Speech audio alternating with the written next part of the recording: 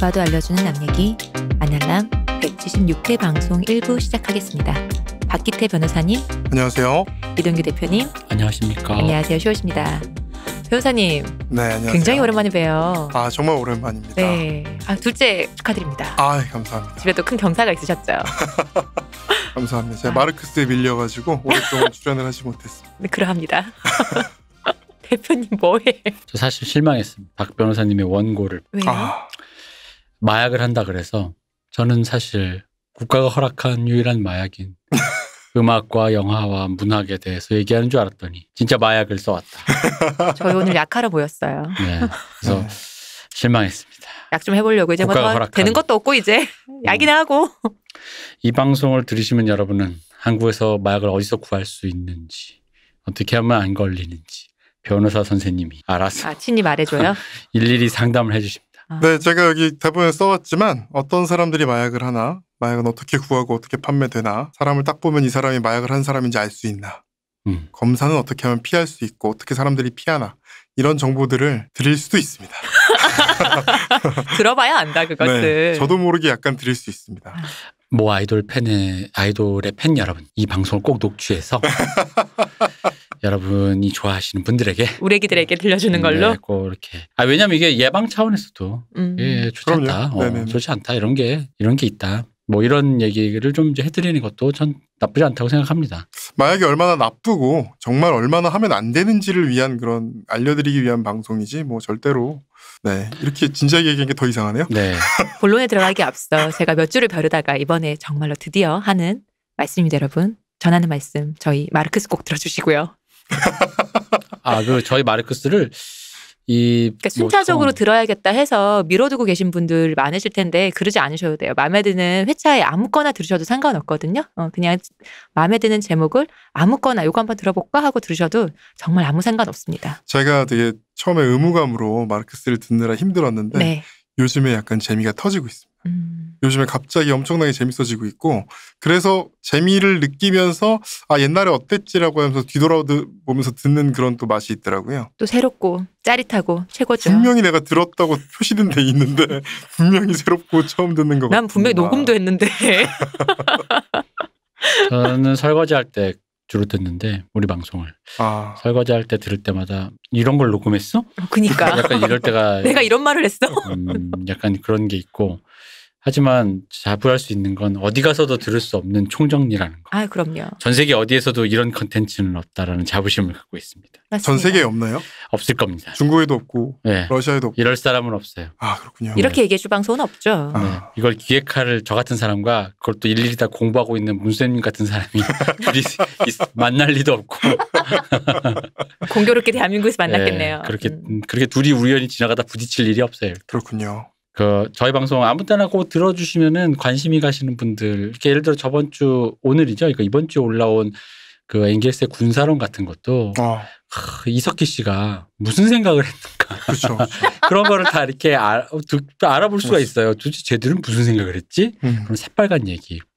보통 생각을 한 거야라고 생각을 하게 되잖아요. 그죠? 근데 그게 어떤 생각이 있었다. 아, 프로세스가 있었다. 아, 이제 뭐 이제 그런 얘기도 들어볼 수도 있고 뭐 이제 여러 가지 문제점이라든가 생각해 볼 문제들 이제 그런 거 있고 이 평화로운 시대에 웬 혁명이냐.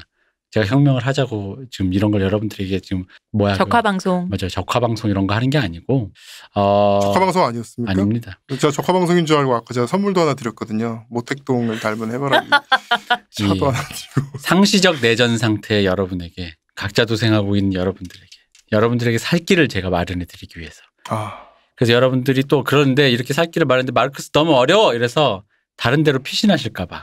거기도 길이 아니다 그래서 옳은 방송을 준비했다. 음. 마약도 길이 아니다. 쓰- 아 세상 사는 게 힘드니 약좀 마약, 먹어야겠어. 약 좀 먹어야겠다. 그쪽이 길이 아니다라는 안될 거에서 이제 일입니다. 네. 이렇게 제가 이제 이걸 준비했고 들으시면 이제 오늘 박희태 변호사님 되게 재밌게 말씀하시잖아요. 네. 오랜만에 이제 좀 재밌는 이 말씀을 하실 텐데 어쨌든 본론으로 들어가기 전에 네. 저희는 또 드릴 말씀이 있습니다. 네. 저희는 후원을 받고 있습니다.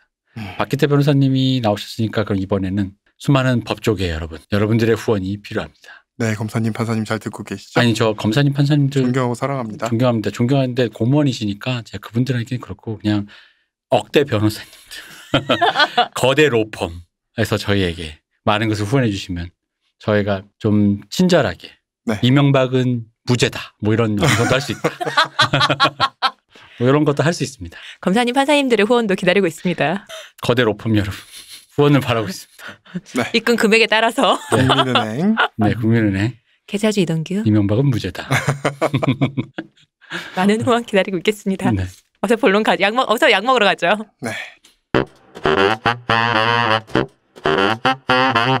자 본론으로 가기 전에 국가가 허락한 마약은 음악 보통은 음악이고 그렇죠. 이제 영화도 있고 네. 문학도 있고 국가가 허락한 마약도 있지만 사실 오늘 방송은 저희 예전 방송과 약간 맞닿은 게 있어요. 제가 좋아하는 그, 그 옛날 외국 형 누나들 얘기를 할 때 기승전 마약으로 끝나잖아요. 음, 그렇죠. 그쵸. 우리 네. 불행 배틀 할 때. 근데 사실 약간 이 얘기도 다뤄볼 수 있을 것 같아요. 무슨 얘기냐면 그, 우리 그 얘기할 때 이게 약간 남의 나라 얘기고 음. 또 옛날 얘기기도 옛날 얘기도 좀 섞여 있고 정말 정말 먼 나라 얘기라서 약간 마약에 대해서 이렇게 뭔가 뭐, 그, 뭐 그쪽 동네 뭐 그런 사람 그 사람들은 그런가 보지 뭐 그런 거 있잖아요. 어른들 왜 헐리우드 영화 보다가 아유 쟤들은 저렇게 나 대낮에도 저렇게 키스를 한다니 뭐 이런 것처럼 음, 음. 그냥 다른 나라 얘기인가 보다.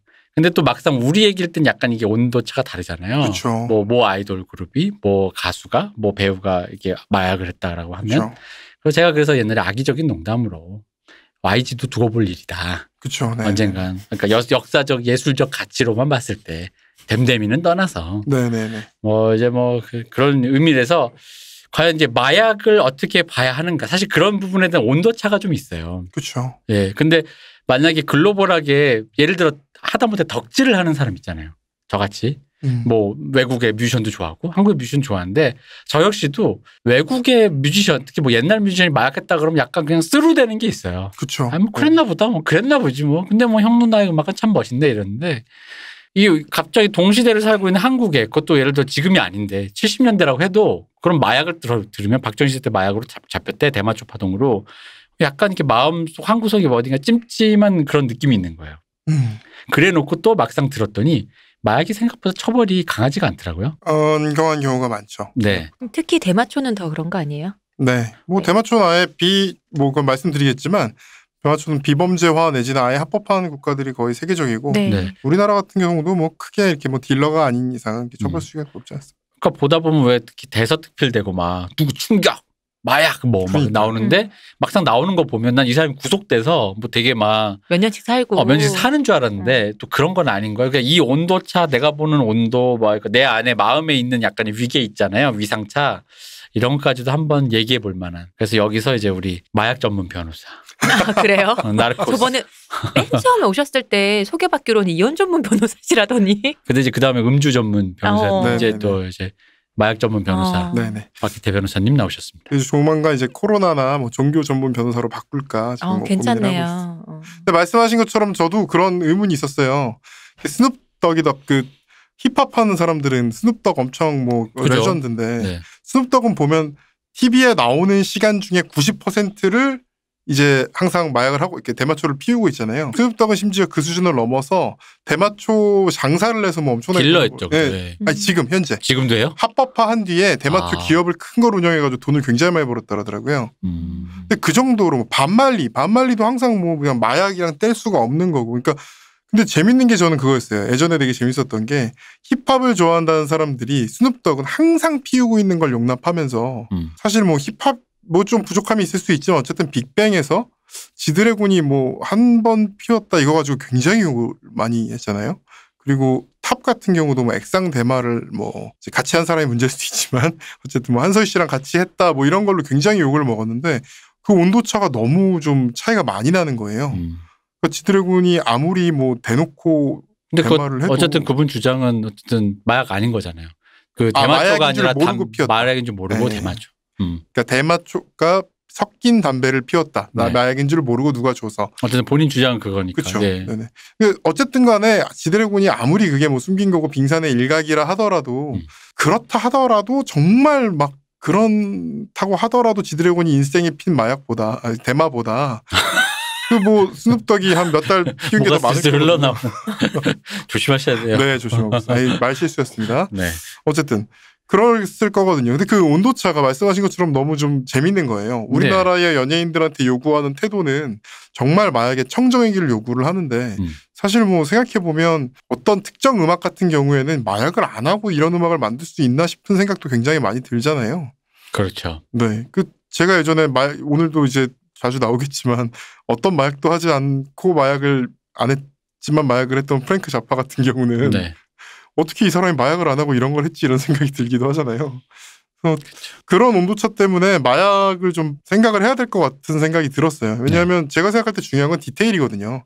어떤 마약을 했느냐에 따라서 비나의 수익이 달라져야 될 것이고 음. 어떤 마약을 얼마나 했느냐, 어떻게 했느냐, 팔았느냐, 재배했느냐, 뭐 기업을 만들었느냐, 뭐 이런 것까지 다 좀 디테일하게 봐야 되고 그렇게 하려면 그러니까 설령 우리가 욕을 하더라도 요번에도 또 이재용 뭐 회장님, 부회장님 뭐 네. 그분께서도 프로포폴을 했다고 이제 마약 막 충격 보도가 됐는데 음.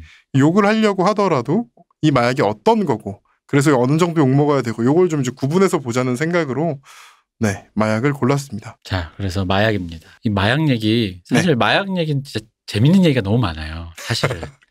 왜냐면 이게 약간 그 뭐랄까 그 범죄 소재로도 재밌고 그렇죠. 또 엔터테인먼트 화류계 뭐 이런 쪽 얘기랑도 섞여 있는 얘기가 많다 보니까 수만 가지 정말 그 뭐 전설이니 도시 전설이니 음. 뭐 스토리들이 많은데 그렇죠. 자 그래서 자 해주시죠 마약을 왜 합니까 우리가 우리가 해요? 음. 저는 안 해서 잘 모르겠는데 저도요. 대표님 왜 하시? 저는 이제 마약을 네. 아무래도 이제 음악이라는 게 영혼을 맑게 해주고 아 정말 국가가- 맑게 된 게 그거야? 그럼요 국가가 허락해주고 곤란하네. 어, 그럼요 그러니까 하는 거죠 근데 국가가 허용한 유일한 마약이라고 하지만 사실 국가는 굉장히 많은 마약을 허용해주고 있어요. 음. 제가 좀 이따 말씀드리겠지만 마약은 크게 이제 세 종류로 나뉘는데 이제 high 계열, down 계열, 그러니까 이게 각성제와 진정제로 크게 두 가지 이제 환각제 이렇게 나누는데 우리는 각성제로 지금 국가가 뭐 허락을 해주다 못해 아예 국가에서 팔고 팔고 있는 있잖아요. 니코틴과 음. 음. 그다음에 지금 우리 앞에도 다 있고 지금 이거 든, 들으시는 분들 중에 대표님 지금 한- 마시고 있는 38%의 확률로 하고 계실 카페인 그리고 이제 다운 계열 마약으로 우리가 뭐 정말 많은 사람들이 먹는 그뭐 지난번에 심지어 가지고 방송까지 했던 어 이 추악한 마약 알코올도 있죠. 음. 사실 국가가 허용한 마약 이 세 가지로 솔직히 말씀드리면 니코틴과 카페인과 알코올로 대부분은 커버가 가능하기 때문에 더 이상의 마약은 허용하지 않는 측면도 있습니다. 사실은. 이미 그래서 어떻게 보면 이건 국가가 이 마약 이건 분명히 마약이에요. 이 마약이라는 거의 뜻을 좀 알아봐야 되는데요. 마약은 그냥 정신에 영향을 미치면 다 마약이거든요. 음. 마약의 마자가 뭔지 아십니까, 대표님? 마요? 네. 이게 그 마라탕 할 때 마 비슷한 거 아니에요? 맞습니다. 딱 그겁니다. 마비, 마비. 음. 네, 마취, 마취. 음. 뭐 이럴 때 이제 마자거든요. 그래서 절이게 하는 약이라는 거죠. 그러니까 마가 절이 얼얼하다. 얼얼할 네. 얼얼하게 하는 마라는 거거든요. 그러니까 마약이 뭐 대단한 게 아니라 사실은 그냥 먹으면 약간 정신이 얼얼해지고 혹은 정신 얼얼하게 좀 이렇게 기운이 확 나고 뭐 이런 약을 그냥 마약이라고 하는 겁니다. 그리고 또 영어로 이제 드럭이라고 하지만 사실은 이게 약이라는 범위로 하면 아- 라틴에서 나르코스라고 하거든요. 드라마 제목이군요. 재밌게 봐- 보셨습니까? 아니요. 별로 재미없었습니다. 네. 그 넷플릭스 건 대부분 다 용두삼이어서 아 그렇군요. 오히려 브레이킹 더 브레 맞나? 브레이킹 배드. 아 브레이킹 더 배드가 훨 낫죠. 네. 아 이건 뭐 그건 넷플릭스 비교가 원작일 네. 때 아니니까. 네, 비교가 안 됩니다.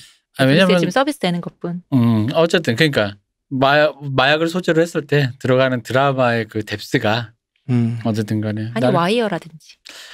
아 와이어는 참 문제가 뭐냐면 진짜 시동이 늦게 걸려. 그니까요. 맞습니다. 꾹 참고 일단 꾸준히 내가 그러면 이제 어느 순간 갑자기 왜 명상하다가 찾아오는 그 쾌- 쾌감처럼 이걸 보기 위해 기다렸구나라는 순간이 찾아오는 3회에서 6회는 도저히 볼 수가 없죠. 3회에서 6회라고요? 3시즌 정도까지 버텨요. 제가 생각하기에는. 3회까지 버티면서 바로 재미 찾으시면 중독자신데. 어쨌든 이 나르코스는 잠 오게 하는 약이라는 뜻이에요. 네. 그러니까 결국은 마약이라고 하지만 이 안에 굉장히 많은 뜻이 들어있는 거죠. 음. 정신이 되는 약간 원래 마약이라는 말 혹은 이제 나르코스라는 말은 사람을 약간 마비시키고 마취하고 좀 잠오게 하는 그런 뜻인데 실제로 우리가 지금 마약이라고 말하는 것 중에는 굉장히 많은 게 들어있어요. 일본에선 마약이란 말 거의 안 씁니다. 아, 그래요? 일본에선 보통 각성제라 그래요. 음. 이것도 재밌죠. 그러게요. 각성제가 아닌 것도 각성제라고 표현해요. 음.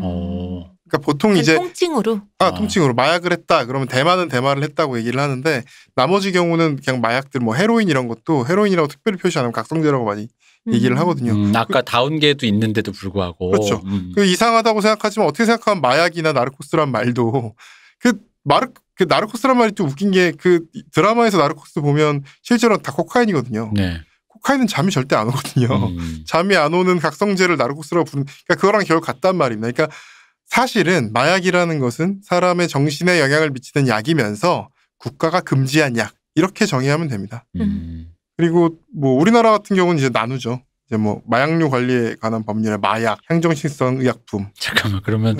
마약인데 국가가 금지 안 하면 보약?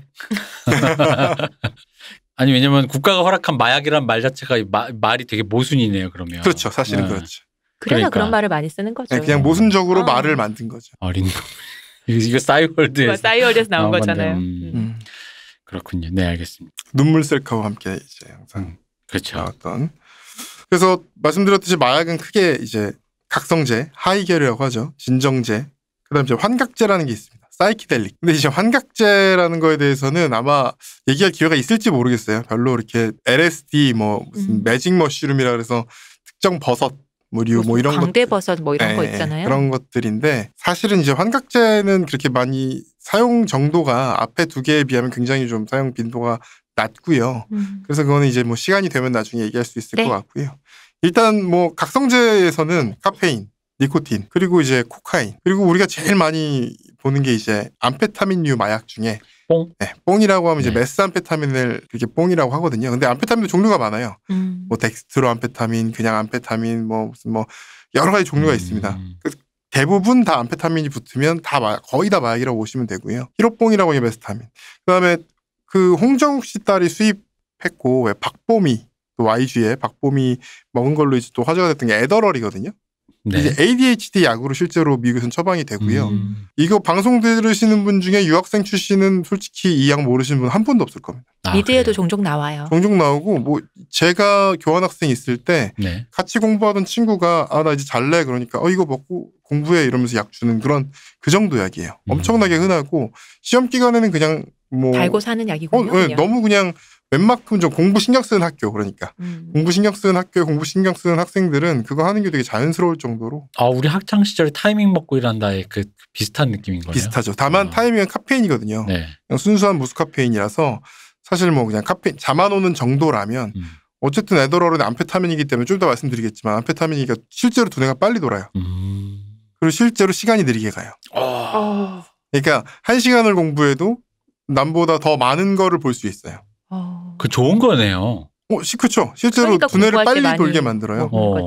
그 여러분 뭐 히로뽕 했다는 사람들의 전형적인 모습 혹시 기억나십니까? 리가 없죠. 아니요 묘사 영화 같은데 묘사하잖아요. 왜 친구나 뭐 부당거래 땀 흘리면서 사람들이 그리고 제일 많이 불안해 보이고. 예, 일단 눈을 막 못 떠요. 막 눈을 막 이렇게 그러니까 막 한. 군데를 응시하지 못하고 눈이 동작을 계속 움직이는 그쵸. 거죠. 그리고 몸이 약간 무슨 좀 이렇게 무슨 똥마려운 개처럼 막 그러니까, 어. 이렇게 막 뭐 이렇게 해야 왔다 돼. 갔다 왔다 갔다. 그리고 모든 게 다 빨라요. 말도 빠르고 그렇잖아. 정신 없어 보이거든요, 음. 사람이. 음. 그 이제 옛날에 남자 여자 경 나왔던 그 고 김성민 씨 네. 네. 그분이 약간 그런 걸 보였을 때 사람들이 사실 얘 뭐 뽕했냐 이런 표현도 있었. 농담으로 이강규 씨가 농담으로. 얘약 먹고 방송하는 거 아니야? 막 이랬단 그러니까. 말이에요. 근데 실제로 그분이 그 사용을 하셨었던 거죠. 네. 근데 이게 그런 태도를 보이는 이유가 간단합니다. 뭐냐면 이분들은 우리랑 똑같이 눈을 돌리는 거예요. 음. 근데 우리가 보기엔 이게 빨리 돌리는 걸로 보이는 거예요. 왜냐면 이 사람한테 시간이 느리게 가니까. 음. 오히려 그 사람이 보기엔 남들이 너무 답답한 거죠. 뭔가 약간 초능력 쓰고 있는 느낌이네요. 그쵸. 음. 그러니까 뇌가 실제로 그 특히 이제 암페타민류가 다 그런데 코카인도 좀, 좀 그렇고 근데 특히 이제 메스암페타민이 심한데요. 상대 시간이 생겨요. 그래서 실제로 사람이 시간이 느리게 가고 남들이 다 느리게 하는 것처럼 보이고 음. 같은 시간에 더 많은 걸 할 수 있고 뇌가 실제로도 오버클럭이 되는 거예요. 음. 근데 사실 뭐 그렇게 이거는 그냥 그런 효과가 있어요. 아예 뭐 그래서 실제로 프로게이머들 중에서 그런 거를 사용하는 경우도 많이 있습니다. 음. 문제는 그 오버클럭을 영원히 할 수 없다는 거죠. 그러니까 같은 양으로 영원히 할 수가 없는 거죠. 이게 문제가 이게 두 가지인데 이게 문제가 두 가지인데 첫 번째는 그 컴퓨터도 왜 오버클럭 하면은 CPU가 타는 경우가 많잖아요. 네, 수명이 일단 줄죠. 예. 그렇죠.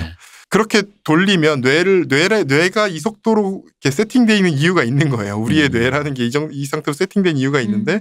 이걸 무리하게 오버클럭을 하면 첫 번째 문제는 오버클럭을 하고 나면 그만큼 수명이 줄어요. 그게 첫 번째 문제. 자목이 하는 약이라는 게 영원히 자기 하는 약이라서 그런가 싶네. 어, 이게 네. 근데 히로뽕은 또 잠도 안 와요. 음. 먹으면 잠도 그러니까 안 오고. 마약을 그렇게 통칭하는 아, 게 아. 네. 그럴 수도 있죠. 그러니까 잠도 안 오고 배도 안 고프고 그 머리는 엄청나게 빨리 돌아가고 며칠씩 할 수 있고 뭐 우리 왜 예전에 그래서 그런 얘기 잠깐 했잖아요. 예전에는 한 번씩 그 뉴스 기사로 필로폰 투약하시는 분들이 음, 택시 음. 기사 뭐 밤새 하고 막 어. 며칠씩 잠 안 자고 그거 하다가 검거되고 이런 얘기 있었거든요. 음, 그래서 그게 가능한 거군요. 그 충분히 가능해요. 그래서 그 사실 많이 하셨다고 적발되었던 분들이 사이클 선수들도 있고요. 음. 또 레이서들, 그 뭐 F1 레이서 이런 사람들은 굉장히 그 어떤 순간적인 판단과 이런 것들이 중요하기 때문에 속도가 빠르고 어, 그분들이 그죠. 많이 음, 음. 적발된 분들이 많이 있어요. 그 비슷한 예로 그 이제 그런 감각을 가지고 약간 우아해서 얘기했던 게 그 사이버 옛날 사이버 포뮬라라는 애니메이션에 보면 제로 영역이라는 그런 개념이 나와요. 그 너무나도 고속의 미래 세계니까 너무나도 고속으로 달리다 보니까 갑자기 이게 붕 뜨면서 음. 굉장히 시간이 느리게 가고 음.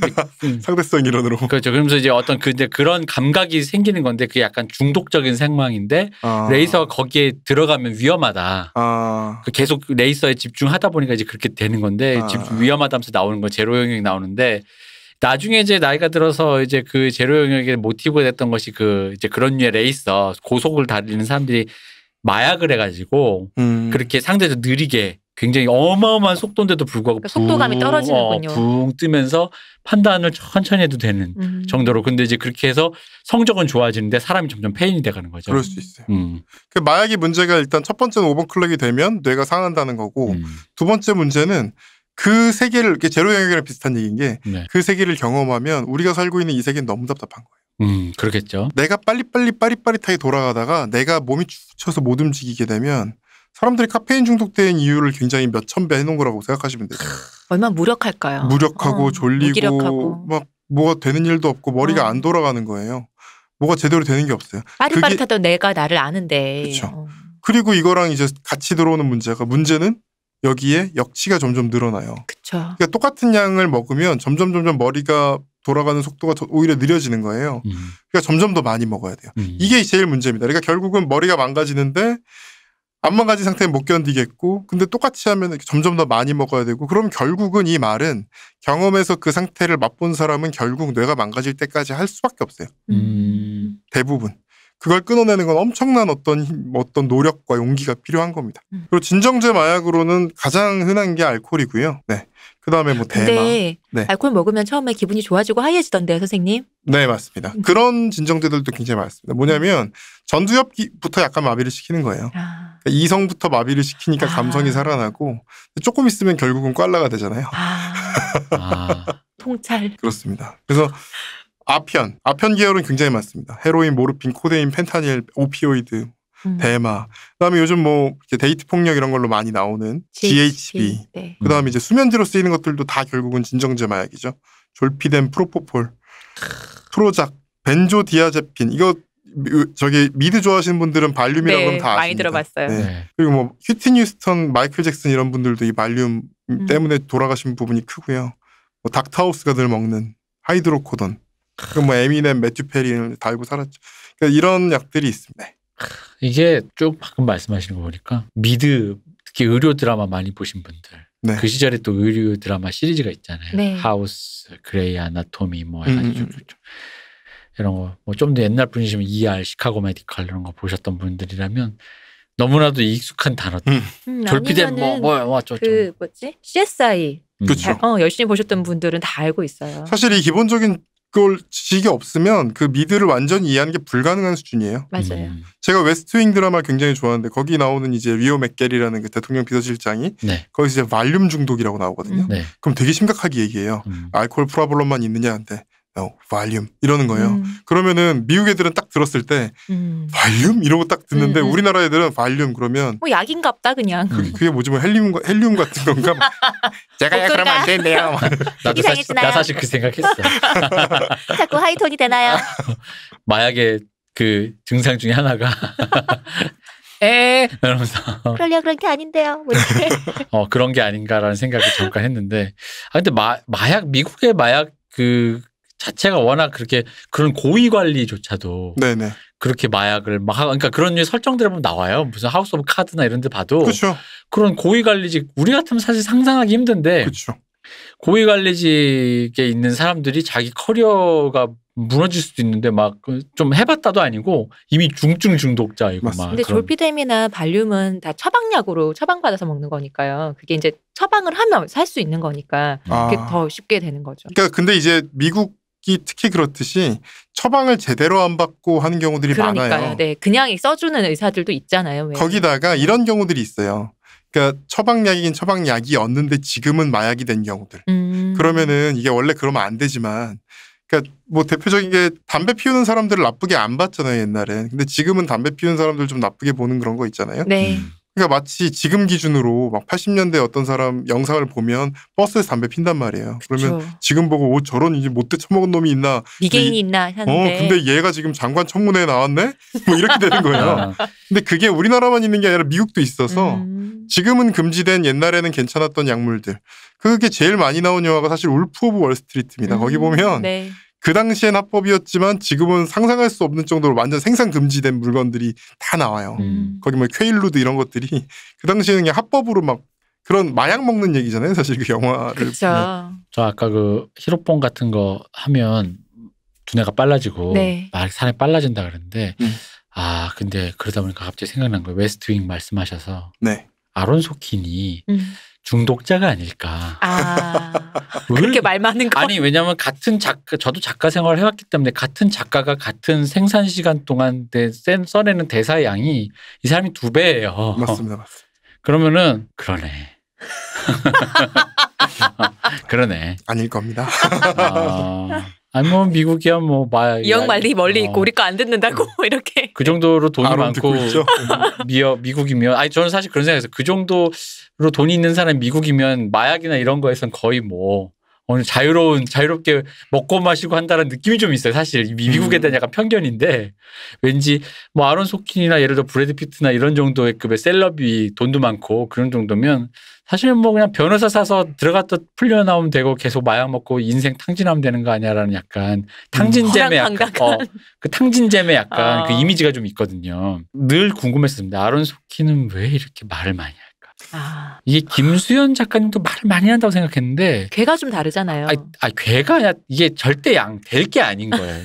절대 양에서 차이가 나는 거예요. 절대 양에서. 그러니까 이런 거예요. 김수현 작가님은 둘이 대화 씬에서는 대화를 많이 하다가 음. 뭐 예를 들어 음식을 치운다든가 뭐 이런 씬이 그냥 말없이 지나가는 씬들이 꽤 있거든요. 네. 아론 소키는 그런 게 없이 그냥 뭐 이렇게 누가 이동 계속 말하고 있어. 걸어가면서 계속 얘기하잖아요. 아론 소킨의 그 전매 특허잖아요. 걸으면서 둘이 계속 얘기하잖아요. 뭐 이렇게 얘랑 얘기하다가 얘가 가면 다른 애랑 또 얘기하고 계속 대사 치는 거. 그 저기 저 이제 자기 전에 이제 맥주 한잔 하고 드라마 잠깐 볼러 딱 틀었더니 작가 선생님이 자꾸 나를 가르쳐. 이렇게 말도 길어 새바닥이. 그래가지고 화가 나는 거야. 이게 웨스트윙도 그렇고. 그래서 그거를 제가 머니볼을 좋아하는 겁니다. 네. 아, 아론 소킨을 옆에서 이렇게 주리를 틀어 막으면 짤수기로 짜면 요렇게 담백하고 너가 할 수 있는 대사씬 요것만 써 하면은 어, 이런 느낌이 되는 게 아닌가라는 그런 의미. 소셜 네트워크도 아론 소킨 쓰지 않았나요? 그것도 썼죠. 그래서 그 왜냐면 그 주인공 네. 대사를 아마 아론 소킨이 썼을 거예요. 주인공 네. 말 많잖아요. 그러니까 걔도 말 빨리 하고. 음. 그러니까 그게 맞다니까요. 내가 보기엔 그거예요. 영화에서는 좀 제어가 되는군요. 네, FBI 여러분, FBI, FBI, 아론 소키. 암페타민 중독이 의심스럽다. 여러분 오랜만에 아날람 팬들에게 들려드리고 싶은 동무 찾는 거야 오늘도? 동무 동무 이런 빨갱이. 동, 동물을 찾아버리겠습니다. 약간 그런 의심이 좀 말씀 들어보니까 너무 아론 소 킨적이다. 네, 네, 알겠습니다. 네. 아론 형 괜찮아요. 저는 안- 저는 그렇게 얘기 안 했습니다. 음, 그래서 좀 얘기를 드릴게요. 그러니까 결국 문화 이해라는 측면에서 좀 생각을 해보셔야 될 것 같아서 문화적으로 이해하고 계셨네요. 네. 어, 그럼요. 대표님이. 문화적으로 그쪽 문화에선 가능하다라고 저는 그냥 이해하셨네요. 이해하고 있는 거죠. 네. 또 이제 코카인부터 말씀드리겠습니다. 네, 각성제 종류죠. 네, 코카인은 이게 코로 이렇게 들이마신 다음에 한다 해서 코카인이거든요. 네, 음. 죄송합니다. 관로에 괜찮습니다. 관로에 뻥이라고 다행히 써주셨어요. 네네. 전주교는 신랑, 기독교는 신부 기억하시죠? 네네. 근데 이거는 소리로 들려줘도 될 것 같아. 어. 뭘 이렇게 뭘요? 이렇게 한다는 얘기잖아요 지금. 그치. 네, 죄송합니다. 네 여러분. 근데 이렇게 죄송합니다. 기억하시면 편하긴 한 게 그 미국 영화나 어디서 봐도 왜, 왜 지폐 막 말아가지고 하얀 가루 코로 들이마시는 거 있죠. 아니면 네. 코로 바로 손등에 넣어갖고 코로 네네네네. 바로 흡입하는 그래서 거. 흔히 나오는 게 뭐냐면 이렇게 하얀 가루를 빻은 다음에 면도날이 많이 나오죠. 맞아요. 네. 요즘 보기도 힘든 어, 어. 그 면도날로 이렇게 1인분씩 나눠요. 그걸 음. 이제 지폐 같은 걸로 코로 이렇게 이렇게. 들이마시잖아요. 그거는 이제 그거를 다른 거 가지고도 할수 있어요. 근데 음. 대부분 이렇게 나온다 하면은 거의 코카인입니다. 하얀 가루를 코로 들이마신다 하면 거의 코카인인 거죠. 그러니까 코로 하고 카 하면은 이제 네. 코카인. 그렇다고 생각을 하시면 잊어버리지는 않습니다. 회계는 신부님에게. 안수는 신랑에게. 왜 이래? 왜 이래? 이 코카인이라는 게 이거는 사실 천연마약이에요. 그러니까 난민들의 생활 필수품인 코카나무 잎에서 추출한 물질이거든요. 그래서 지금도 그 뭐 볼리비아 이런 데 가면은 이 사람들은 이거 없이 못 살아요. 음. 미국에서 이거 되게 못하게 단속을 하면 난리 나는 거예요. 우리는 어떻게 하냐. 이 사람들은 그냥 일상적으로 근데 이제 코카인으로 정제해 놓은 형태로 사용하는 게 아니라 이 잎을 이렇게 씹어 먹고 차로 마시고 뭐 술에 담가 먹고 그렇습니다. 근데 이게 어떤 그 각성 그게 아니라 어떤 고산병이라는 그 질환의 어떤 치료 그런 게 예방 그게 되는 거예요. 근데 각성이라는 것이 무엇인지 좀 생각을 해보시면 돼요. 음. 각성이라는 건 아까 말씀드렸듯이 아주 단순하게 말하면 뇌와 신경을 조금 더 깨어나게 만드는 거예요. 네. 그 뇌와 신경을 좀 더 깨어나게 만들고 신경 전달 물질들을 좀 더 빠르게 주고받을 수 있고 이런 것이기 때문에 고산병, 고산병에서 약간 좀 띵한 상태라든가 머리가 잘 안 돌아가는 상태를 코카나무 잎을 먹어서 약간 각성이 되면은 좀 해소가 되는 거죠. 코카 인과 코카 잎은 다르니까요. 네. 예, 코카, 그러니까 그래서 실제로 그것도 되게 논란이 많이 돼요. 그러니까 얘네들은 뭐냐면 코카인으로 하면 중독이 되지만 코카 잎으로 하면 중독이 마테차보다도 안 된다. 실제로 그렇게 얘기를 하거든요. 음. 콜롬비아나 뭐 볼리비아 이런 데서는. 근데 이게 코카인이 처음에 신대륙 발견을 했잖아요. 신대륙 발견을 하면서 제일 먼저 서구 사회에 간 게 세 가지가 있습니다. 그래서 제일 먼저 이제 간 게 설탕이고요. 두 번째가 담배입니다. 네. 선풍적인 인기를 끌었어요. 아- 아메리카 대륙에서 나온 게. 세 번째가 사실은 우리가 잘 모르지만 코카인입니다. 음. 음. 이 코카잎이 이제 남미에서 코카잎을 갖고 와서 이 서구에서 선풍적인 인기를 끌었어요. 그래서 진짜 뭐 스페인 역사 저술가인 가르실라소 드드라 베가가 뭐라 그랬냐면 굶주린 자의 욕망을 채우고 녹초가 된 사람에게 힘을 주며 불행한 자들에게 슬픔을 잊게 해준다. 그래서 이 코카인은 근데 또 이게 사실은 국제무역 지난번에 왜술 얘기하면서 얘기를 했잖아요. 네. 근데 그만큼 국제무역의 대상은 잘 못 됐어요. 음. 왜냐하면 잎이 잘 썩어요. 음. 말리면 효과가 떨어져요. 이때는 음. 아직 정제가 안 될 때니까요. 그래서 정제 말리면 떨어지는데 그 날 상태에서 씹어야 되는데 음. 날 상태에서 갖고 오려면 남 그 아메리카에서 갖고 오는 그쵸. 동안에 다 말라버리거나 상해버리거나 뭐 벌레가 먹는다든가 이래서 실질적으로 이게 교역의 대상이 잘 못 돼서 굉장히 고급이었습니다. 음. 셜록 홈즈가 코카인을 한다든가 이런 것들이 거기서 나온 거거든요. 그래서 교황님 같은 경우에 이렇게 와인에 코카인을 넣어가지고 코카 잎을 넣어서 그걸 드시고 뭐 이런 걸 많이 했습니다 실제로. 그렇 그랬던 것이 이제 코카인을 코카 잎에서 코카인이라는 걸 추출하게 돼요. 그 순간 더 선풍적인 인기를 끌게 됩니다. 정말 폭발. 그렇죠. 그래서 이거 좋아했던 사람 좀 말씀드리면 뭐 에디슨, 빅토리아 여왕, 뭐 이제 빈 마리아니라 그래서 이제 와인에다 코카인 넣은 물건들은 이게 좋은 거죠. 술을 먹으면 약간 어지러워지는데 코카인이랑 같이 먹으니까 정신이 나는 거예요. 음. 술 먹어서 기분은 좋은데 정신도 말똥해. 야 이런 최고가 있나 이렇게 해서 뭐 완벽한 음료 뭐- 뭐 이랬고요 애들한테도 먹였어요 당시 그때는 와인 같은 거 애들한테 먹을 때인데 먹일 때지만 먹일. 애들한테는 별로 안 먹였어요 왜냐면 애들이 정신을 못 차리고 자게 되니까 술을 먹으면 이래야 되는데. 그렇죠 근데 여기다 코카인을 넣은 거를 먹으니까 애들이 정신을 차리는 거예요 음. 그래서 아이들한테도 권장이 됐습니다. 공부하는데도 좋다 이러고. 한 50년간 아무런 문제 없이 뭐 이렇게 사용이 돼요. 이제 셜록 홈즈 때쯤에는 벌써 약간 코카인이 문제라는 얘기가 약간 나오기 시작했을 때입니다. 그나마. 셜록 홈즈가 왜 이렇게 코카인 주사를 막 하면 왓슨이 옆에서 왓슨- 핀잔 주잖아요. 아 그런 거 하지 마라 막 이런 아. 얘기가 그런 맥락이에요. 여기서도 재미있는 게 코카콜라죠. 그쵸. 예. 오래된 오랜 떡밥 아닙니까? 요즘은 사실 좀 식상한데 저희 어릴 때만 해도 뭐 그런 거래매 이런 얘기 되게 많이 했었단 말이에요. 그럼 제가 질문을 하겠습니다. 시호님. 네. 코카콜라에 지금 코카콜라에 코카인이 들어갈까요? 안 들어갈까요? 그러니까 굳이 따지면 정말 정말 정말 미량은 있다고 네. 라고 들었어요. 이게 코카콜라라는 게 처음에 왜 만들어진 거냐면 애초에 그 코카 잎의 효능을 최대한 즐기기 위해 나온 약물이에요. 음.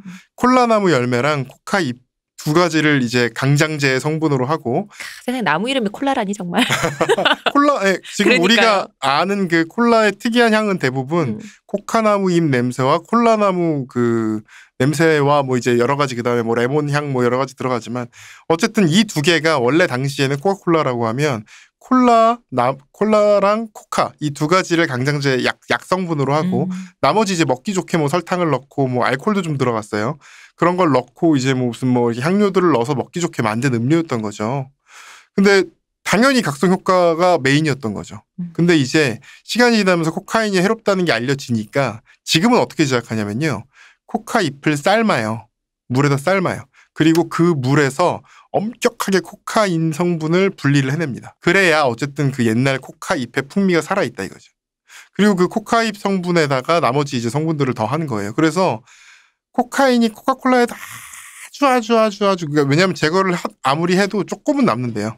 그래서 아주 아주 아주 약간은 남아 있다고 얘기를 합니다. 그래서 Coke라 그러면 영 영어권에서는 코카콜라란 말 잘 안 쓰고 Coke라 Coke라고. 네. coke라고 코카인 coke라 그러거든요. 그 그럼 제거하고 제거했으면 제거한 한 어떤 어떤 그 코카인 성분을 갖고 있는 그 물질이 남을 텐데 코카인이 남죠. 그죠. 순도가 있는. 그럼 이제 그거를 처리하는 거가 처리하는 거가 엄, 엄격한 어떤 감시라든가 뭐가 있겠네요. 정부에서 나온 의료용으로 사람이. 감독한다고 그랬어요. 아, 의료용으로만 사용합니다. 여기서 또 와이로가 등장하고 함께 아구로짱 듣고 있나요?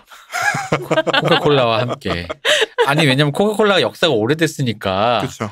이거가 그걸 관리하러 나오신 분과의 어떤 유착 관계가 그 히스토리도 꽤 있을 것 같다는 생각이 뒤져보면 그 수많은 사람 중에 다 엄격하기만 했겠어요. DEA 듣고 계시죠? 음. 여러분 거깁니다. 이 콜라 그래서 옛날에 코카콜라는 진짜 슈퍼 흥분제였던 거예요. 음. 음. 코카인 더하기 카페인 더하기 설탕.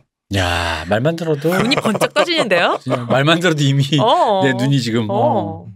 어. 그 코카콜라 얘기 나온 김에 코카콜라의 핵심 성분은 뭐 절대 노출이 안 돼 있다는 이런 얘기 있죠. 어, 네 그런 얘기 있었잖아요. 그래서 뭐 아무도 모른다, 뭐 두 명만 안다, 뭐 이런 얘기. 그런 얘기를 하는데 실제로는 더 괴상합니다. 실제로는 두 명만 아는 게 아니라 아틀란타에 금고가 있는데 이 금고 비밀번호를 아는 사람이 두 명밖에 없고 네, 뭐 그런 얘기. 이 두 명은 절대 같은 비행기를 타지 않고 뭐 실제로 그렇습니다. 음. 그렇지만 사실 이것도 일종의 마케팅이고요. 음. 그게 뭔지는 이미 다 세상에 알아요? 다 나와 있습니다. 인터넷에 바로 쳐보세요.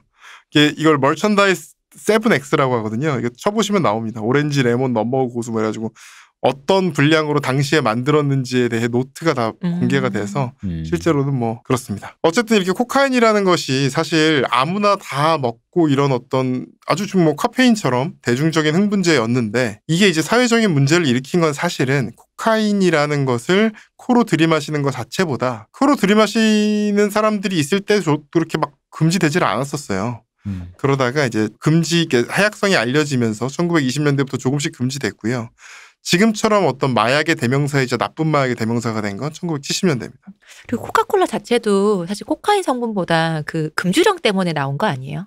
그러니까 그- 이제 그거는 금주령 때 술을 대체하기 위한 음료라고 볼 수는 없어요. 음. 왜냐하면 일단 알코올이 좀 들어가야만 만들 수가 있... 그 이유는 옛날에 저번 지난 방송에 설명을 드렸지만 알코올의 제일 중요한 그 목적 중에 하나가 보존 그두 그쵸, 번째는 그쵸. 액기스를 뽑아내는 능력이잖아요. 그래서 이제 콜라 열매나 코카나무 잎의 액기스를 뽑아내려면 기본적으로 알코올이 필요해요. 이게 아까 왜맨 처음에 말 처음에 말씀하신 그 백마리안이 있잖아요. 네네. 그거 원래 빈마리안이. 와인이 들어가는데 음, 음. 그게 금주령 때문에 와인을 못 넣으니까 와인 빼고 탄산수를 넣는 게 코카콜라 시작이다. 뭐 이런 얘기도 네네, 그게 있잖아요. 맞습니다. 네. 근데 그거는 조금 더 이 생각을 해요. 정신의 문제예요. 음. 예, 예. 이게 지금 처음에 코카콜라가 나온 게 애틀란타 주거든요. 이 애틀란타 주는 최초로 금주령이 도입된 주 중에 하나예요. 네. 이 남부의 어떤 그런 좀 보수적인 주로서 기독교적인 주인데 이건 뭘 생각하시는 시대 정신인 거예요. 음. 이 당시 여기에 시대 정신은 사람들이 술에 취해서 일을 안 하는 거를 꼴보기 싫어서 정말 모든 사람이 정신을 똑바로 차리고 이성적인 상태로 열심히 일을 해야 된다는 상태였던 거죠. 지금도 꼴 보기 싫을 것 같은데요. 그래서 사실은 그 아틀란타주에서 시작된 거는 뭐 금주령 때문에 술을 대체하기 위한 그런 면도 좀 있지만 그거보다는 그만큼 그 주나 그 지역의 사람들한테 요구되는 게 띵한 상태, 술 음. 먹은 상태가 아니라 정신 차린 상태. 그쵸.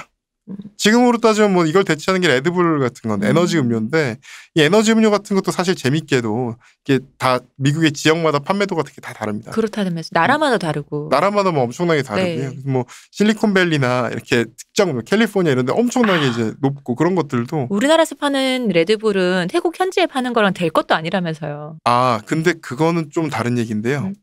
태국 레드불하고 우리가 아는 그 레드불은 아예 다른 음료입니다. 아 그래요? 네네, 그건 아예 다른 음료인데요. 그 이게 재밌습니다. 이게 일본에서 나온 음료가 있어요. 리포비탄이라는 음료가 있거든요. 그 보시면 알아요. 어. 지금도 일본에서 흔하게 볼 수 있습니다. 리포비탄이라는 음료수를 우리나라에서 똑같이 베낀 걸 바카스라고 합니다. 어머 저 금방 마셨는데. 네, 맛도 거의 똑같고요. 제가 정말 좋아해요. 이 바카스인지 아니면 리포비탄인지 확실치 않으나 어떤 태국인이 이걸 보고 만든 게 원조 레드불입니다. 근데 맛이 진짜 비슷해요. 네. 네. 근데 그 원조 레드불을 태국에 여행 온 오스트레일리안가 오스트리안가 두 개 헷갈리는데 어쨌든 그 중에 어떤 사람이 태국에 사업을 온 사람이 그거를 보고 똑같이 그 마크까지 베껴서 음. 허락 없이 만든 음료가 우리가 알고 있는 레드불입니다. 음. 그렇지만 이제 이 레드불 그러니까 짭에 짭에 짭에 짭인 건데요. 그러게요. 이 짭이 가장 덩치가 커져서 네. 태국 레드불을 인수를 했어요. 그래가지고 지금은 사실 그게 이제 뭐 이제 뭐 누가 누- 욕할 것도 없고. 그쵸. 어. 뭐 이렇게 음. 돈 많은 게 짱이고 원래 성공하는 건 카피에 카피고. 아, 많고 싶다. 그래서 사실 우리는 뭐 레드불 이전에 이미 바카스라는 걸 가진 나라고요. 사랑합니다, 전 바카스. 음. 그래서 그 태국 레드불 마크를 보면 그 리포비탄이나 바카스 마크 아시죠? 약간 톱니바퀴 같은. 네. 네. 원래는 그 마크였어요. 어. 그 소- 그 마크 위에 소가 있는 마크였어요. 어. 뭐 그렇습니다. 이건 준비되지 않아서 약간 정보가 틀린 게 있을 수 있지만 아마 맞을 겁니다. 콜라는 네. 한 그 어떤 코카콜라가 대명사잖아요. 네. 맛과 향과. 음. 펩시도 있고 한데. 펩시야 뭐 약간 독자적인 매니아층이 있다고 하지만 그럼에도 불구하고 코- 어떤 코카콜라가 콜라라는 그 어떤 시그니처의 네. 그건데 그렇죠. 옛날 파리로 콜라 먹으면서 네. 그런 고민한 거 이게 코카콜라 맛을 그대로 낼 수 없어서 이런 맛이 나오는 건지 내면 안 되기 때문에 약간 그 자존심 아. 상이라도 뭐라든 뭐든 뭐 법적으로든 그래서 이렇게 낸 건지 먹으면서 옛날에 먹으면서도 그게 궁금했었거든요. 음. 과연 코카콜라 맛을 낼 수가 없어서 이런 것인가? 아니죠. 이거는 이제 민족과 독립의 맛이었죠. 콜라 독립의 맛. 정말 저는 파이로 콜라를 옛날에 먹으면서 그 생각을 했어요. 내가 콜라로부터 독립할 수 있겠구나. 이걸 먹은 뒤에 나는 콜라를 끊을 수 있을 것 같다. 모든 아, 그래서. 콜라 독립 파리로. 아, 그래서. 아, 모든 사람들을 콜라에 중독해서 아. 정말 뭐 아, 왜냐면 작품. 진짜 파리로 콜라 처음 먹고 왜냐면 그때 이제 뭐 저도 이제 그때 당시는 진짜 PC방도 모르는 가고 분도 계시겠다. 아무래도 이제 파리로 그런 콜라. 거 많이 먹을 때 PC방 같은 거 가서 좀 뭐 이렇게 놀고 이럴 때 아무래도 그런 류의 네. 그런 음료를 많이 먹잖아요. 근데 네. 찰떡파이랑. 그렇죠. 그런 그런 거 뭐 카페인 먹었어요. 많이 들어가 있는 거. 네.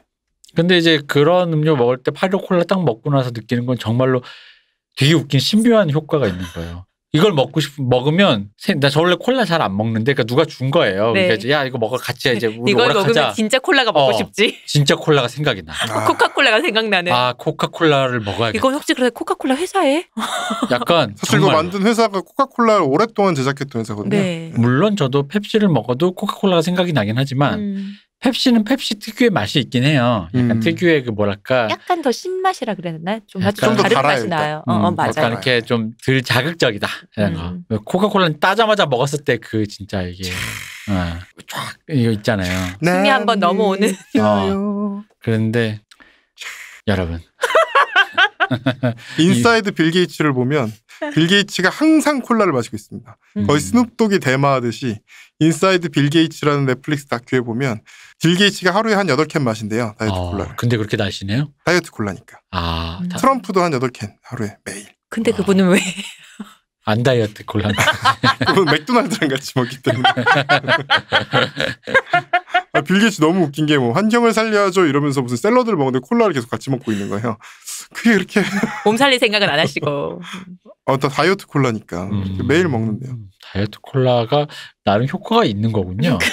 퍽이나 있겠어요? 어, 아니 의외로 설탕은 제로니까 뭐. 미국인 치고는 꽤 우리가 알고 있는 그러니까 내가 알고 있는 미국인은 조금만 하면 약간 트럼프적인. 체형에 어. 좀 가깝다고 생각하는데 근데 미국인이라는 느낌이라고 보기에는 좀 많이 얄쌍하니까 네. 근데 뭐 제가 그들보다 다 뚱뚱하지만 저는 콜라를 좋아하지 않습니다. 음. 차를 그렇게 드시는데 잘 못 타 드시는 거예요, 대체. 마테차 마시면 살 빠진다는 소리 하는 사람은 누구야 도대체? 제가 우리나라에서 마테차 제일 많이 먹어요. 아, 이 콜라, 그러니까 콜라는 하여간 그런 특이함이 있었어요. 음. 콜라에 중독 성분이 있다라는 말 때문에 저희 어머니가 콜라를 좋아하셨는데 어렸을 때 그게 드시면서도 약간 저- 웃으면서 하시는 말씀이 약간 그러니까 한, 한 1, 20% 섞인 두려움이 있잖아요. 음. 진짜 막 계속 먹으면. 중독되는 거 아니냐. 나 사실 진짜 먹고 싶고 생각이 나서 먹는데 혹시 그런 거 아닐까? 막 이런 약간 그런 두려움을 갖고 계셨거든요. 제가 아는 어떤 분은 콜라를 굉장히 좋아하셨는데 자기가 콜라를 좋아하는 줄 알았더니 나중에 탄산수를 먹어보니 아니고 그게 쏘는 맛이 좋아해서 좋아하는 그래서 탄산수로 대체해서 살을 많이 뺐다라고 하시는 제가. 콜라를 사실 별로 안 좋아했던 제일 큰 이유가 뭐냐면요. 제가 어릴 때 방송에 왜 세상에 이런 직업 뭐 이런 것처럼 네 직업분이 나오신 거예요. 어떤 이- 직업이니 네. 이분은 하루에 콜라를 10캔 뭐 이렇게 먹는다는 건데 그 코카콜라인지 펩시콜라인지 하여튼 뭐 그 회사 직원이래요. 음. 그 맛을 보는 게 직업이래요. 음. 그래서 맨날 그걸 먹는다는 거예요. 그러면서 건강을 막 체크를 해요. 그래서 건강도 건강합니다. 콜라가 나쁘지 않습니다. 이러는 거예요. 근데 이가 없어요. 어머 앞니가 이렇게 네 개가 다 없는 거예요. 취향. 아닐까? 어떤 취향이? 그러면 금 끼고 거기다가 더 이상 말을 하지 않겠습니다. flex. 취향 왜 아닐까? 이렇게 웃으세요, 시원님? 저는 모릅니다. 무슨 말인지 알 것 같아서요. 무슨 말을 하시는 건지 다들. 그거 되게 중국에서부터 내려온 오래된 취향이 있어요. 중국뿐 아니라 다른 데서 서양에서도 네. 힙합 취향 얘기하시는 거죠? 아마 그렇게 얘기하죠. 그렇죠. 금리하는 거뭐 그런 걸로. 네, 길 씨가 왜 멀쩡한 앞니 두 개 뺐잖아요. 그 저거 왜 군대 또 가려고? 금리하려고. 다른 분이잖아요, 그거. 그는 몽 몽시고. 아, 그러니까 그분이 앞니를 굳이 뺐다길래. 근데 그것처럼 왜 라면 회사 일하시는 분들 라면을 이렇게 신제품을 먹어봐야 되니까 그래서 신입사원이 들어왔는데 몇 개월 지났는데 살이 별로 안 쪘다. 그럼 제가 일 열심히 안 하네 이러신다는 얘기를 음. 들었거든요. 비슷하네요. 이빨이 있으면 일 열심히 안 하네 이렇게 되는 거 근데 아닌가? 이제 뭐 다시 말씀드리지만 콜라에 뭐 인산 성분이 이게 안 좋다 이런 거 얘기가 있지만 기본적으로 설탕이 안 좋은 거예요. 네. 인산이 아무리 많다 그래서 뭐 충치가 생기지는 않습니다. 음. 다만 이제 이가 약간 산이니까 근데 인산이 나쁘다면 구연산도 나쁘고 식초도 나쁘죠. 그렇죠. 네, 근데 산이니까 약간 약해져 있는데 여기에 이제 설탕을 먹고 이제 설탕이 제일 문제인 거니까 다이어트 콜라는 좀 괜찮을 수도 있어요. 어쨌든 네. 자 여러분 코카콜라에 대한 얘기 아니라 코카인에 대한 그러니까요. 얘기인데요. 지금 코카인 얘기하다가 코카인은 도파민, 세로토닌, 노르, 에프, 에피네프린 재흡수 억제제입니다. 그렇군요. 네 그렇습니다. 마르크스보다 나은 것 같은데. 어이쿠. 어이쿠.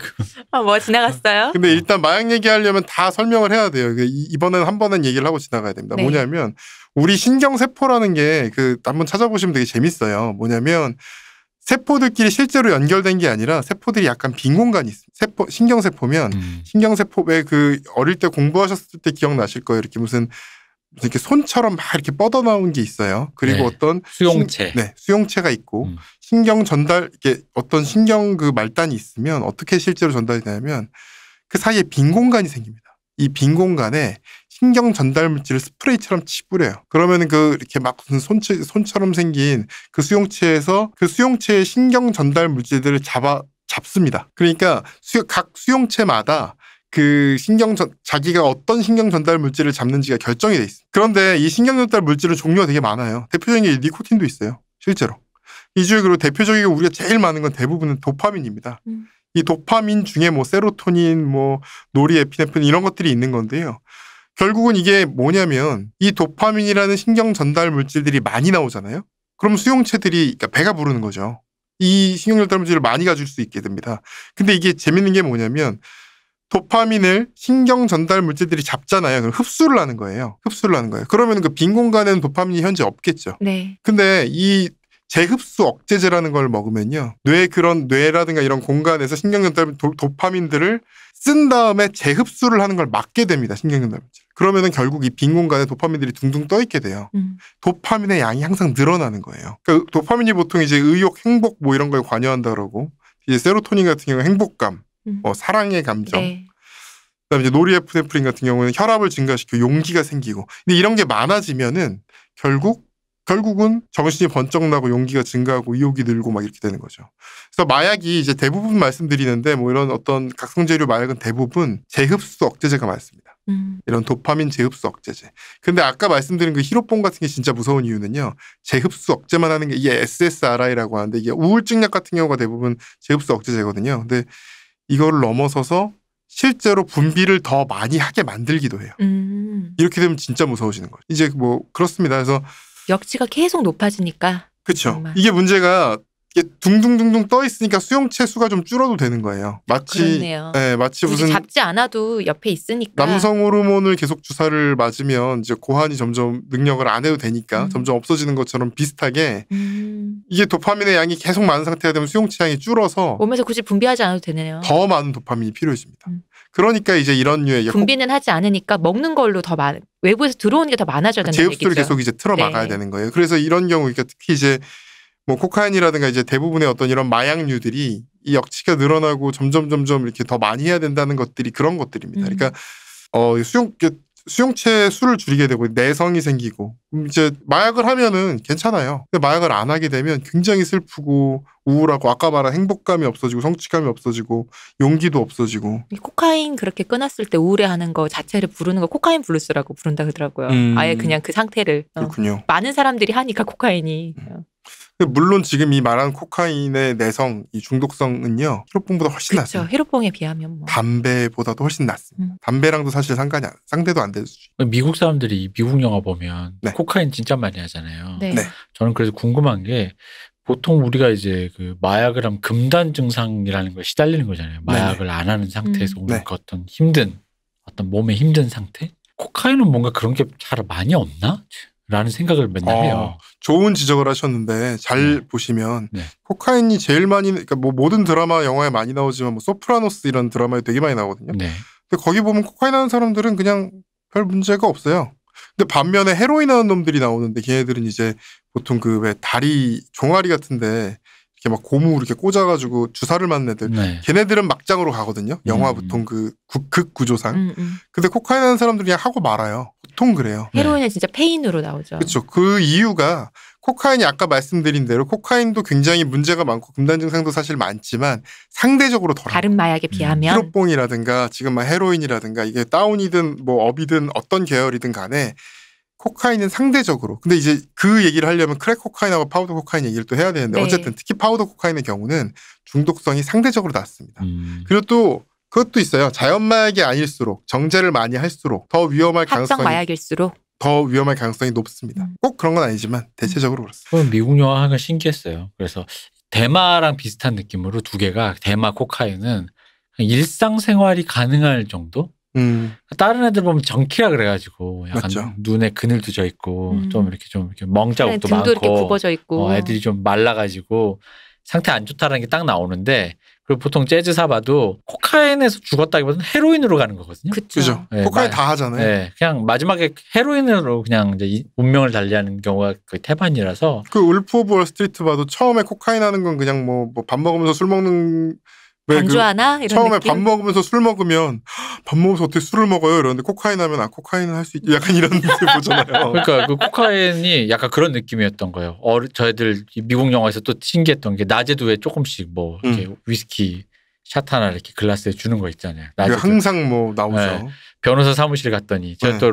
그런 법조 드라마 좋아하는데 네. 변호사 사무실 가면 항상 그 개인 그쵸. 사무실에서 다 있죠. 다 있잖아요. 그걸 꼭 하나 주잖아요. 음. 브랜디 하나 딱. 주면서. 예. 음. 그럼 대낮부터 저, 저 사람들 그럼 난 그 생각들이 취하는 건 둘째치고 술 냄새가 날 텐데 맞아. 고객을 상대하는 사람이 고객도 우리 한 잔 드리는 거지. 한 잔 드시고 오니까. 어, 저, 아 근데 또 그 다음 사람 또 올 거 아니에요. 그 고객도 미리 한 잔 드리고 그래가지고 보면서 그래서 들어오자마자 술을 권하는 거예요. 그리고 많이 먹지도 않아요. 그게 어머, 신기하죠. 한 잔. 주면 그걸 얘기하는 동안 한 잔을 계속 마셔요. 네. Something to drink? 그럼 끝 음. 그냥 계속 그것만 마시잖아요. 이해가 안, 약간 그게 좀 그러니까 아, 좀 신기하고 저 사람들은 저는 그 병이 항상 궁금했어요. 음, 항상 그 이렇게 거기다 채워놓는 걸까? 어. 라는 저 그래서 저도 그 그. 라벨 없는 되게 무슨 맞아요. 크리스탈 병 같은 거 항상 어. 넣어놓잖아요. 어, 그 맞아요. 술을. 유리 크리스탈인데 넣는데 약간 그 뭐지 고무 마개로 이렇게 대서 어, 있는 항상 거기다 항상 넣잖아요. 라벨 있는 우리가 아는 술병이 음. 아니야. 네, 그래서 채워놓나라 생각 저도 늘 했어요. 근데 제가 그- 좋아하는 최고의 미드 가십걸에 보면 항상 나옵니다. 근데 그 부분도 가십걸. 저희 어머니가 추측을 한 게 있었어요. 아우 쟤들은 근데 아마 암내가 심해서 술 냄새 나도 잘 모를 거야. 저희 어머니가 옛날 미드 드라마 보면서 역시 똑같은. 얘기가 술 냄새가 안 날까? 막 이랬는데 음, 글쎄 그 기본적으로 냄새가 많이 나니까 입에서 나든 겨드랑이에서 나든 뭔 상관이겠니? 뭐 이러면서 근데 우리는 화가 나서 자기들은 안 내는 이미 그러니까 알지 않을까? 음. 아니 근데 왜냐면 한국인이 냄새는 좀, 좀 냄새가 좀 많이 안 나다 보니까 사실 조금만 해도 진짜 냄새 좀 크게 많이 다가오는 편인 건 좀 있거든요. 아 그래서 우리는 아직도 마늘 냄새가 중화되겠구나. 음. 우린 마늘 냄새가 나나요? 그럴 리가. 굉장히 많이 나요. 그거는 백인들 코가 잘못돼서 그래요. 견디기 힘드네요 두 분의 마늘 냄새가. 어, 백인들 코가 아 이게 잘못되셨네. 무슨 말씀하시는 거예요? 전 타고난 살냄새밖에 없어요. 음. 마늘 냄새 굉장히 많이 나시는데요. 지금. 저는 마늘을 먹지 않습니다. 타고난 살냄새. 음. 마늘이 줄 이태리. 사람에게 무슨 나는 거죠. 말씀이실까? 정말 그 이태리인들 마늘 냄새 나는 놈이라 그러는데 이태리 네. 알리오 올리오에 마늘 몇 개 들어가는지 아십니까? 근데 그 마늘이 진짜 커요. 아니 제가 가서 봤어요. 세 개인가?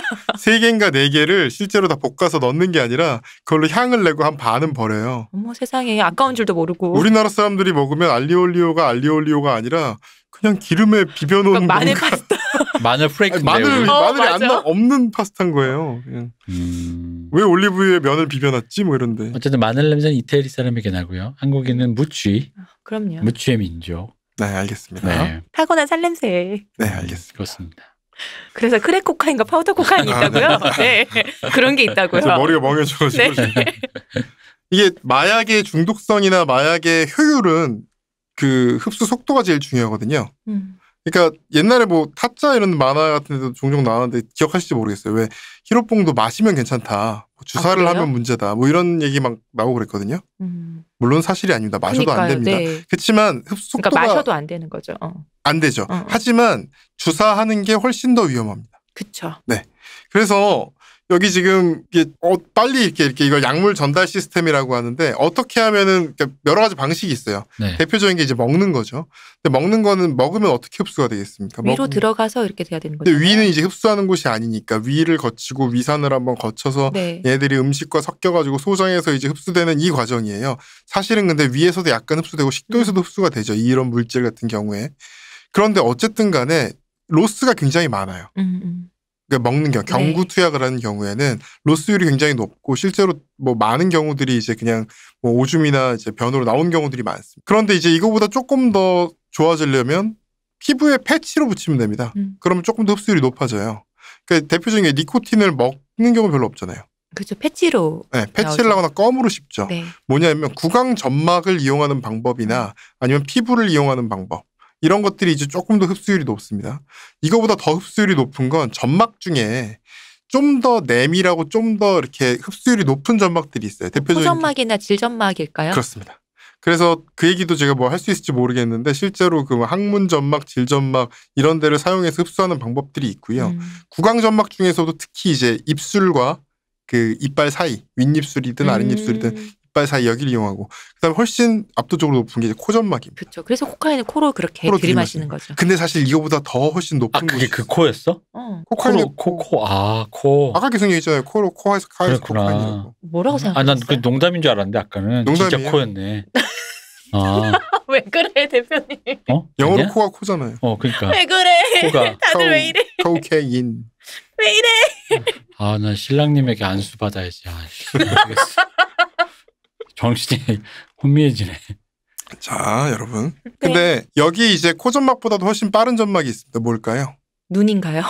어, 눈도 사실은 맞습니다. 그래서 카우보이 비밥 드라마에 보면 눈에 뿌리는 마약이 나오죠. 어. 네.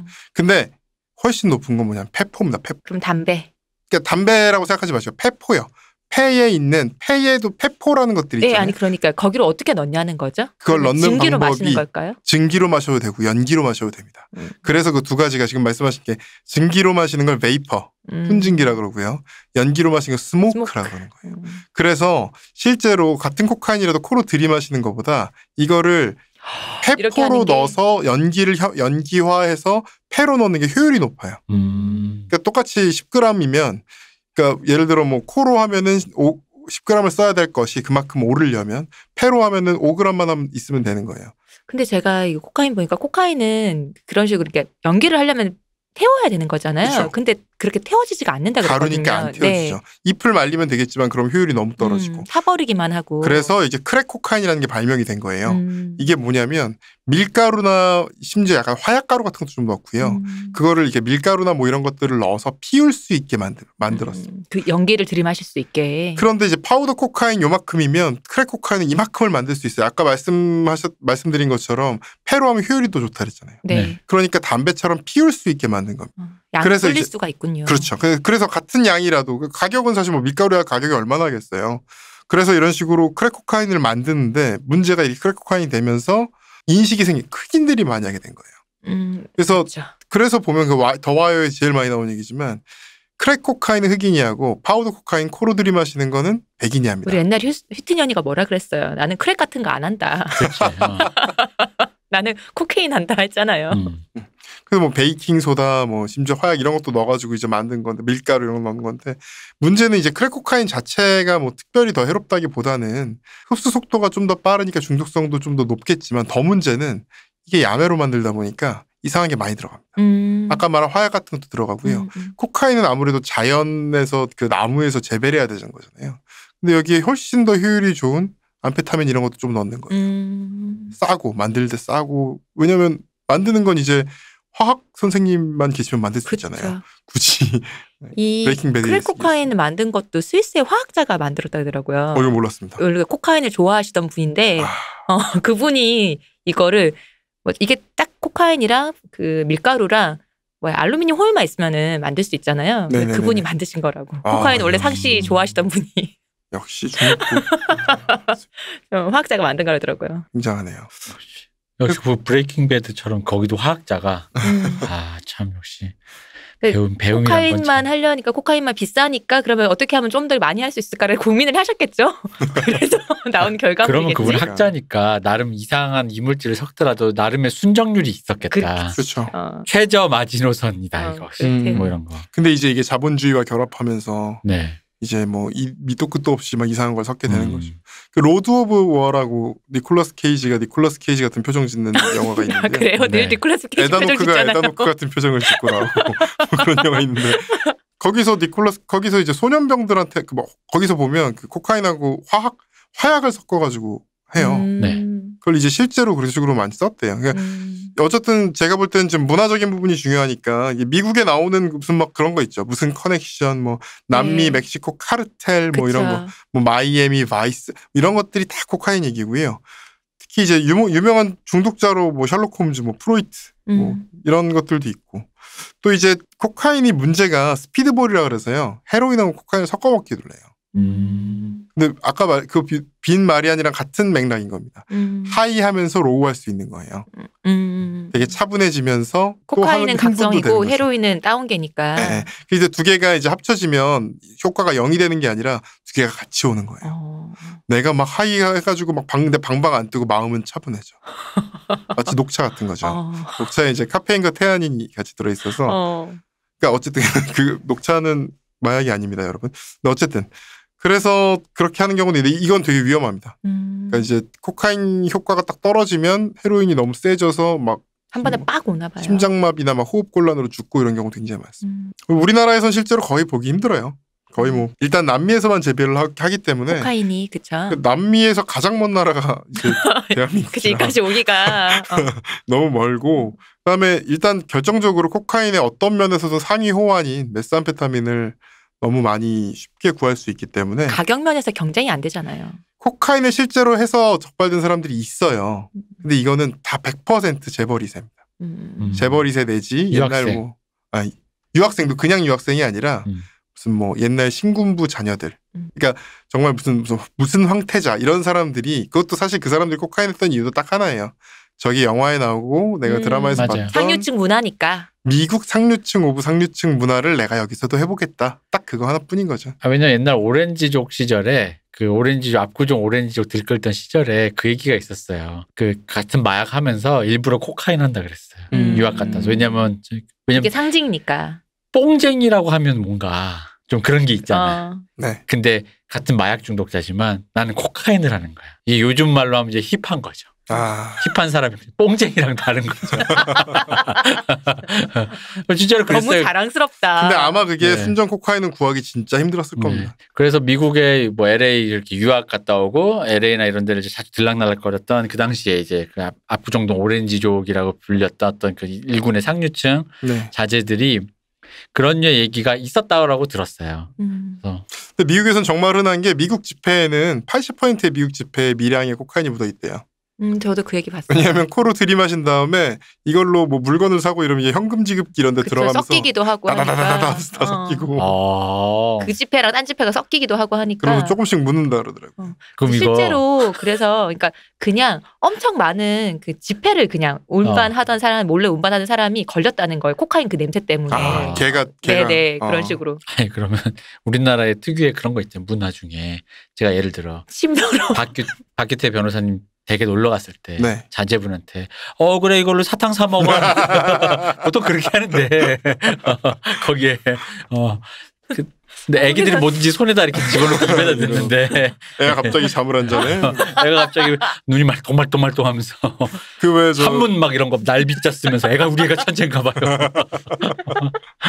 왜 돼지 코에도 그, 그 지폐 꼽잖아요. 네. 네. 돼지가 그래서 웃고 있나. 아 웃기네 이거. 이게 약간 문화가 다르니까 네. 아, 이게 약간 정말. 문화랑 그 재반 환경이 다르니까 굉장히 음. 좀 그, 그쪽에선 사실 그렇게 하면 좀 몹쓸 짓이겠네요, 느낌상. 그렇진 않을 것 같습니다. 정말? 미량이 묻어있기 때문에 아, 그래도 어. 돈 주는데. 글쎄 여러분 코카인에 대해서 마지막 할 얘기는 그겁니다. 코카인을 여러분 여러분 길거리를 가다 코카인을 발견할 수 있잖아요. 어, 어느 날 어떻게- 갑자기 길에 코카인이 있을 수 있잖아요. 어. 아, 아니, 그건 그냥 상표 뜯어진 밀가루가 아닐까? 근데 이제 여러분이 딱 코로 좀 마셔보니까 코카인이다. 그거 아는 사람도 이상한데 어 그럴 수 있잖아요. 왜 갑자기 뭐 아니 그러니까 선생님 그거 어떻게 아셨어요? 처음 가능성은 해보셨는데 매우 낮지만 그냥 살면서 선생님 사고 나셨나 봐요. 그리고 뭐 봉다리에 써 있을 수도 있잖아요. 코카인 뭐 써 있을 수도 있잖아요. 음. 딱 발견했다. 그 보는 순간 여러분은 여러분은 그 코카인을 뭐 밀수하거나 이러지 않는 착한 분들이잖아요. 이 코카인의 약효를 없애야 되지 않습니까? 그럴 때는 먹으면 되죠. 먹어서 없애면 되지. 아니 그럼 내, 몸, 내 몸에 효과를 발휘하잖아요. 그렇게 되면 안 되니까 여러분 먹여. 여기 먹여. 공대 여러분들이 항상 가지고 계신 게 두 개 있죠. 덕트 테이프랑 WD40. WD40을 뿌리시면 됩니다. 그럼 없어져요? 그러면 효과가 없어진다. 마약 성분 네, 자체가. 없어진다. 네. 화학 반응을 일으켜서요. 화학 반응 이렇게 해갖고 코카인을 약간 젤 덩어리 상태로 만든대요. 어. 그래서 못 흡입을 못 하게 만드는. 아 근데 먹으면 어쨌든 효과는 남는 거 아니에요? 근데 아까 말씀드렸지만. 매우 그 확률이 그 특히 아 또 얘기 드려야 됩니다. 코카인 같은 경우는 아까 말씀드린 천연이라 그랬잖아요. 네. 네. 그러니까 하나의 어떤 성분 뭐 메산펜타민 같은 단일 성분이 아니에요. 음. 그렇기 때문에 먹으면 로스율이 굉장히 높습니다. 아. 이파리를 먹는 거랑 비슷한 거지. 어쨌든 그냥 밀가루 덩어리처럼 된 거 그 덩어리라도 우고 젤 덩어리. 조금이라도 다- 빨리 유튜브 방송을 하시죠. 액체 괴물. 자 오늘은 코카인 액체 괴물을 만들어 보겠어요. 우고 근데 먹어요? 내마약 내마약 아니 이거 그럴 수도 있잖아 그래서 어. 미국 경찰들이 나이트 클럽이나 이런 데 술집 있잖아요. 화장실에 네. 이렇게 편편한 데다가 변기나 아니 편편한 세면대에다가 그 WD40을 40을 뿌린- 살짝 이렇게 발라놓는데요. 코로 들이마시는 순간 우리 저희 그분 있잖아요 베테랑에 나오는 재벌 네. 유한 씨, 유한 씨가 유한 분에 씨나 조 뭐였죠? 조태호. 조태호 네네. 조태호 그거 할 때 코에다 WD 40을 코에다 칙 하면 그 효과가 없어지는 아, 그치 이걸 흡 못한다니까. 아 근데 WD 40은 인체에 무해한가요? 모르겠어요. 아니 유해합니다. 예, 예. 아 그럼 코카인으로 가는 게 아니라 그걸로 죽을 수 있게 그 둘- 협박 코카인으로 죽을래 WD 40으로 죽을래 어쨌든 가, 가는 거는 순식간이야 네. 그래서 혹시 코카인을 발견할지 모르니까 WD40을 늘 챙겨두고 다 다닐까요? 네, 그런 게 좋을 것 같습니다. 아, 아 근데 집에 WD 40 있으면 정말 참, 참 여러모로 그게 뭐 거의 뭐 만병 무슨 이런 거던데요. 그 제가 올려놓은 이 파일 있잖아요. 엔지니어링 네, 움직이는가? 장난 아, 아니던데요. 모든 건 두 개로 해결 가능합니다. 덕트 테이프랑 예, 음. WD40. 신비 물질이에요 그거 애 울 때도 잘 좋고 어. 예, 어쨌든 네. 되게 좋은 겁니다 그게 음. 가방에다 하나 넣고 다녀야겠네요. 네. 그럼요 이게 네네. 어, 휴지만 들고 다닐 게 아니라 자 그러면 오늘의 교훈은 네. WD40을 늘 가방에 항시 가지고 다니자라는 아, 이런 교훈을 그러니까 주셨네요. 지성이 있는 성인이라면 WD 40 정도는 네. 필수품이다 항시 들고 다니는 것이다. 그렇죠. 언제 어느 때 코카인을 만날지 모르잖아요. 아, 그쵸. 아들이 자녀가 유학을 갔는데 가방에 WD 40이 없으면 정키다. 네. 그럴 가능성이 높죠. 어. 그죠? 네, 그럴 수... 미국에서 유학하는 자녀의 가방을 봤는데 WD 40이 없다. 너 마약하니? 이렇게 물어보셔도 된다. 아, 오늘 이상 약 먹은 것 같은데 미국에 계신 유학생 여러분. 약 드신 것 같은데. 정말 이 방송이 신기한 게 어, 지난번에. 술 방송은 술을 안 먹어도 술 먹은 것 같았잖아요. 이상하게 좀 약하니까 다 약하고 하는 네, 거지. 방방 뜨네요. 네, 아, 이상합니다. 그러게요. 어, 저희 방송 들으시는 분 중에 유학생분 많으세요. 네. 아, 그렇죠. 이 방송을 들으시고 음, 혹시 언제 어디서 그 외국에서 그 경찰분들에게 부신 검문을 당할 수도 있으니까 W40을 늘 챙겨 다니시는 걸로 음. 이것을 보아라. 나는 코카인과 아무 상관이 없는 사람이다. 그게 아니라 약 가방에 코카인 딱 나왔을 때 돈 무브 할 때 코로 WD-40 흡입하고 바로 그냥 네. 왜 타국에서 사람을 없앨라 그래? 음. 어? 돈 무브 아 근데 왜냐면 살아있는 채로 들어오는 전게 사실- 수속이 쉽다고. 아, 전 사실 제일 무서운 게 뭐냐면요. 세상에서 전 사실 진짜 이게 미드의 폐인데 네. 이 미국 문화의 폐 중에 진짜 저한테 심각한 게 하나 있어요. 난 세상에서 제일 무서운 게 미국 감방이야. 음, 아. 그쵸. 군대 2년 갈래, 미국 감방 일주일 갈래. 그냥 근데 군대 2년 가는 게 나을 것 같기도 보이는 해. 것보다 더 하자고 하니까. 어. 미국은 감방의 차이가 큽니다. 네. 뭐 나중에 언제 얘기할 기회가. 그쵸. 아그 그래요? 저의. 트라우마를 씻을 수 있나요? 중범죄로 아, 좋은 가면 짤없어요. 감방은 진짜 좋아요. 아 좋아요. 엄청 좋은 그 감방. 황제 감방 이런 거. 아니 그런 거보다 이게 하루 종일 선- 그 찬송가 같은 거 틀어주고 그 잠깐만 그게 좋은 거 맞아요? W 사고 그냥 코에 넣어주세요. 왜요? 빨리. 이게 뭐 이제 보통 치안 관리가 되게 안 돼서 뭐 그 안에서 때리고 왕따 시키고 이런 게 좀 제일 문제잖아요. 제가 Prison Break에서 가장 쇼킹했던 거 발가락 자르는 거. 어 뭐 네. 네, 잔디 가위로. 이놈 말 안 들으니까 발가락 하나부터 일단 음, 싹둑. 그거는 아마 실제로 있기 힘든 네. 일이겠지만. 그리고 화장실에서 큰 형들이 너 네, 그게 생겼다. 음. 뭐 흔히 나오는. 주머니를 빼서 이걸 음. 잡으라며. 어. 그 사실 다 이거 언제 다음에 교도소 얘기 한번 제가 해드리면 또 재밌을 것 네. 같아요. 이거 한국 교도소는 되게 달라요. 어. 미국 교도소의 느낌하고 미국 교도소도 안 가봤고 한국 교도소도 안 가봤지만 거기서 듣기로 음. 미국 교도소의 느낌하고 한국 교도소의 느낌 되게 다르더라고요.